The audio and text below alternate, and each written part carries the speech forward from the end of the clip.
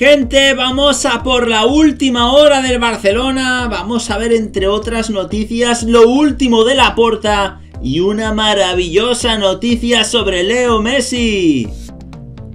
¡Vamos a ello!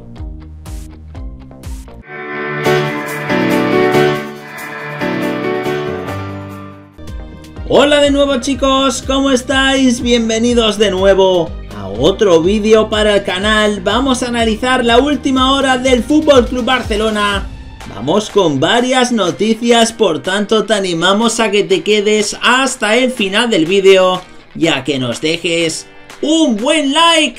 Vamos sin más dilación a analizar la primera noticia y vamos a hablar de el posible fichaje de Fabio Blanco por el Barcelona. Por su juventud y talento y en especial el hecho de acabar contrato con el Valencia el verano que viene, el prometedor Fabio Blanco de 17 años se ha erigido en protagonista de una reñida puja en la que tienen cabida diversos e importantes clubes del continente. Y es que al ya conocido interés del Real Madrid y Fútbol Club Barcelona hay que sumar ahora el mostrado por, según recoge Mundo Deportivo, otros conjuntos de la talla de Bayern de Múnich, Borussia Dortmund, Milán, Juventus, Olympique de Marsella o Real Sociedad. Además, también hay constancia de que varios clubes de la Premier League siguen sus pasos, aunque su posible aterrizaje en las islas se antoja ahora mismo complicado por culpa del Brexit.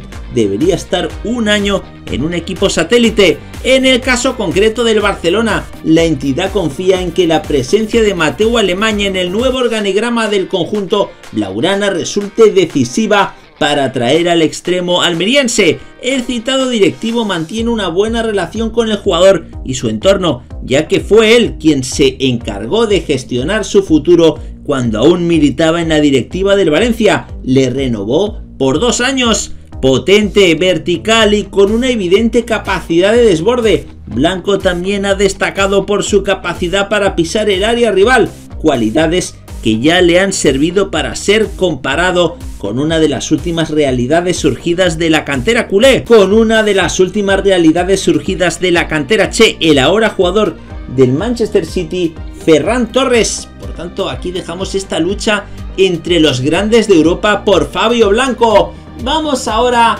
hablar de otra perla que el Barcelona tiene en la mira. El Barça busca nuevas promesas para su plantilla y uno de los futbolistas que más está gustando dentro de su nueva dirección deportiva es el brasileño Natán, actual jugador del Flamengo que está cedido en el Red Bull Bragantino, donde se ha destapado como uno de los centrales más prometedores del país brasileño.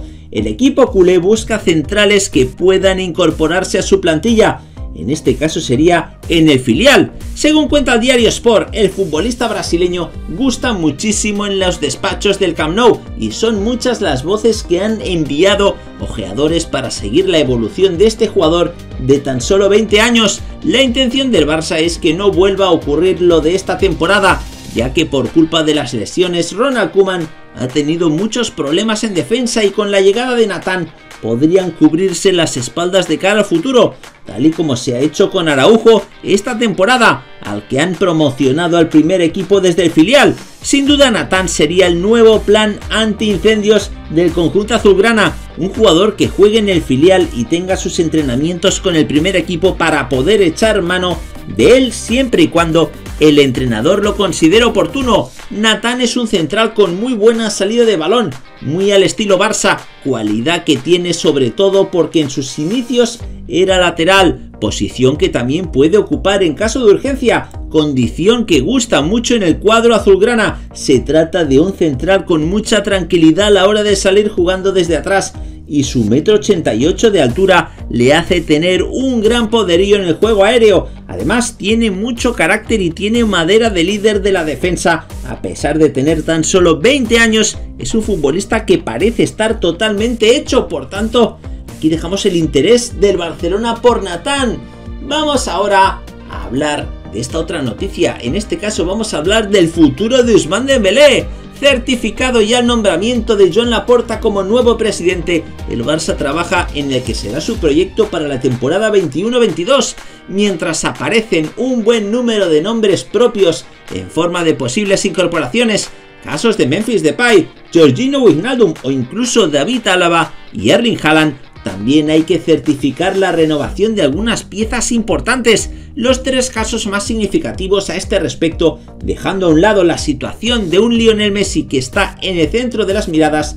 Ya desde hace varios meses, son los que tienen como protagonista tanto a los canteranos Oscar Mingueza e Ilax Moriba, como al extremo francés de 23 años Ousmane Dembélé, con un contrato que actualmente une a ambas partes hasta el 30 de junio de 2022 el plan del Barça es ampliar el contrato que le une al futbolista, el cual ha mejorado sensiblemente sus prestaciones durante esta temporada, después de la millonaria inversión realizada para reclutarlo desde el Borussia Dortmund, el cuadro culé no quiere enfrentarse a la situación de perderlo a coste cero dentro de un año. La mejora del rendimiento mostrado por el internacional galo durante el curso, con 9 goles, 4 asistencias en 35 partidos, así como la disminución de sus bajas por problemas físicos, ha provocado que un conjunto haya vuelto a emerger con fuerza en la carrera por su fichaje. Concretamente se trata del Manchester United.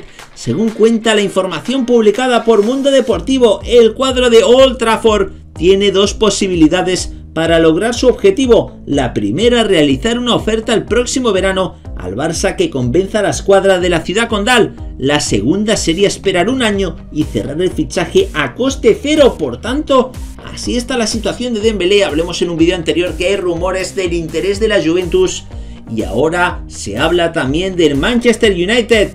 Vamos ahora a hablar de la puerta y de los despidos que ha hecho oficial hoy.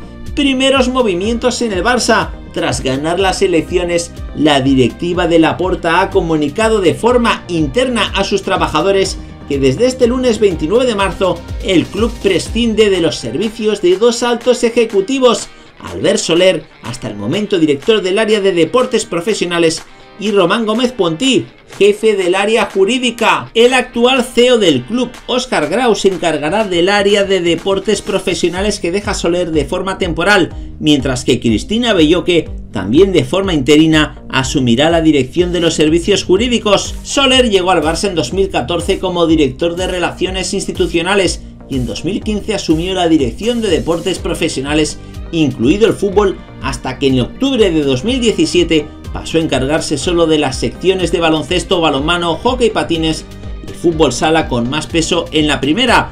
Junto a Nacho Rodríguez contribuyó a hacer un equipazo que lidera la Euroliga de básquet. También ejercía como director de relaciones institucionales, siendo parte activa de las reuniones con los organismos como la Liga, la Federación, la ACB, la Euroliga y la Soval. En cuanto a Gómez Ponti, llegó al Barça en julio de 2010 coincidiendo con el inicio del mandato de Sandro Rosell. Con Bartomeu se mantuvo al frente de los servicios jurídicos del club y está investigado por el Barça Estos dos son los primeros movimientos del club en el comité de dirección formado durante el mandato de Bartomeu por 14 ejecutivos. Tusquets prescindió de Jaume Masferrer, a lo que hoy se suman Ponti y Soler. Por tanto, estos son los dos despedidos por la puerta hoy mismo. Y vamos a acabar hablando chicos de una gran noticia de Leo Messi. Y es que el argentino empezó el 2021 como un tiro y lleva tres meses a un nivel extraordinario. El argentino está jugando seguramente su mejor fútbol en los últimos años y ha entrado en el modo imparable en el que ha estado tantos y tantos años en su carrera. En lo que va de año, el 10 lleva 19 goles en 19 partidos entre todas las competiciones y ha sido clave para el despegue del Barcelona en Liga. Además de los 19 tantos, el de Rosario ha repartido en esos 19 encuentros otras 7 asistencias. En total, este curso, el capitán azulgrana suma 29 dianas y 13 pases de gol, por lo que nadie duda de que está haciendo un temporadón. Sin embargo, centrándose solo en su 2021, que es lo que está siendo verdaderamente impresionante, el delantero ha sido elegido el mejor de Europa en lo que va de año. El Observatorio CIES le ha escogido como el mejor futbolista de las cinco grandes ligas de los tres meses que han pasado de 2021, con una metodología única para analizar y comparar el rendimiento de los jugadores independientemente de su posición. Leo ha superado a otros nombres importantes como Robert Lewandowski, Cristiano Ronaldo o Jorginho, mediocentro del Chelsea. El polaco del Bayern y el centrocampista Blue son segundo y tercero y completan el podio liderado por Messi. El argentino es el primero con 92.5 puntos de 100 y el punta bávaro y el italo brasileño empatan con 89.5. Cristiano se les queda cerca pero está en el puesto quinto con 89.3. El uso no ha empezado tan bien el año como le hubiese gustado y se queda a las puertas de los mejores. Hay que dejar claro que este estudio solo tiene en cuenta las estadísticas de las competiciones nacionales. En el caso de Lewandowski, el polaco ha anotado en 2021 18 tantos en 13 jornadas, mientras que Leo ha marcado 16 en 12 encuentros. Por tanto, chicos, Leo Messi elegido mejor jugador de Europa en 2021. Nos gustaría saber vuestra opinión al respecto y que por favor nos la dejéis en los comentarios justo debajo de este vídeo. Nada más por el momento, como siempre animaros a que os suscribáis al canal para seguir viendo todos nuestros vídeos y aquí os dejamos este vídeo más que interesante para que sigáis disfrutando de todas las noticias del fútbol. ¡Hasta la próxima!